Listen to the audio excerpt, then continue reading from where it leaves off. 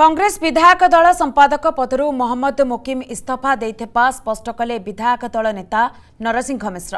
ମହମ୍ମଦ ମୋକିମ୍ ତାଙ୍କ ନିକଟକୁ ଇସ୍ତଫା ପତ୍ର ପଠାଇଥିବା କହିଛନ୍ତି ନରସିଂହ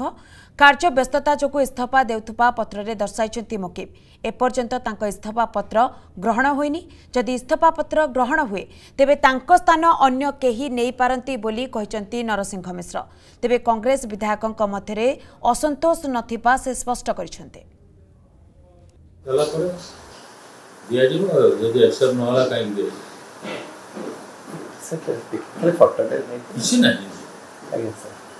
ସେ ମୁଁ ଯାହା କରିବି ସେଇଟା ଲେଖା ହେଇଛି ମୁଁ ସମୟ ଦେଇପାରିବିନି ମୋତେ